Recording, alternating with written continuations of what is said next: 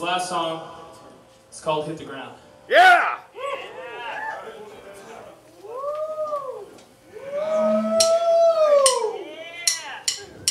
You're going